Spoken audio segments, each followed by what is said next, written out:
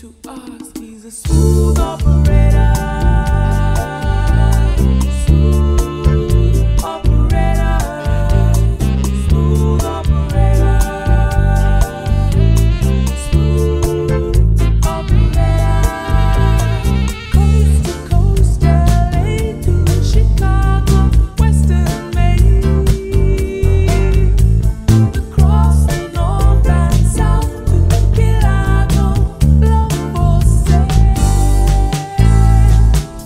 Thank